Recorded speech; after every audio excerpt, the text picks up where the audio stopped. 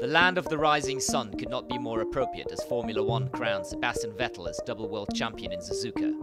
Within hours of the celebration, though, Vettel and Red Bull were already looking forward with partner Infiniti as they paid a visit to its Atsugi Design Center.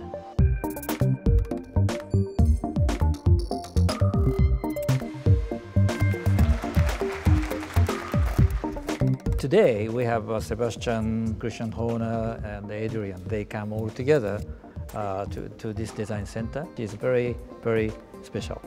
It's an important partnership for us. We're an engineering company and Infiniti at its heart is an engineering company. So in two parallel universes, hopefully we can learn off each other. Sebastian now joins a very elite group of double world championship winners and uh, obviously to have defended his title in the fashion that he has has been uh, you know, fantastic to witness. Sometimes you have to pinch yourself because in a way, you know, what we can do, uh, life doesn't get much better than, than that for, for us. But what was special about this year was to actually show that last year wasn't simply a flash in the pan. We're here to, as a team to try and challenge every year if we possibly can.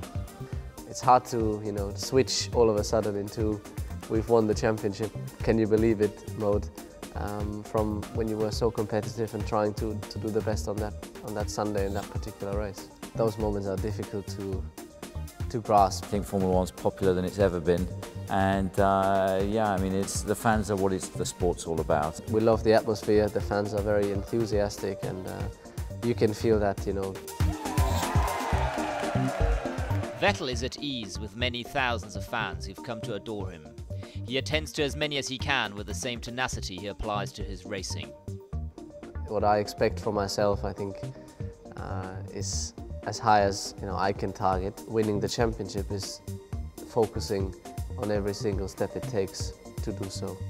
Red Bull are already looking ahead at the potential opportunities with partner Infiniti, specifically what they could learn from each other to help stay competitive. We would like to show them the whole process of design, the, from the sketching to real model. Bit of a problem opening the doors.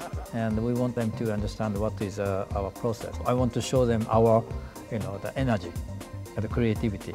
It's not only the technology, to feel, you know, how we are passionate with design. To see you know, the very early process, uh, basically starting from scratch. It was quite interesting, you know, to go through the different stages, uh, where on one hand you have the inspiration and then to see how a scratch develops and suddenly becomes uh, a model car. It's great to come and see some of the technology, some of the future technology, some of the new models um, you know, that, are, that are in the pipeline and some of the synergies that exist between the automotive sector and, and Formula One. We're interested in some of the cars related technology which Infiniti are uh, ahead of us in that area. So a lot of crossover and as a engineering exchange it's a very useful one. The partnership is still quite young. The target is to, to benefit from it.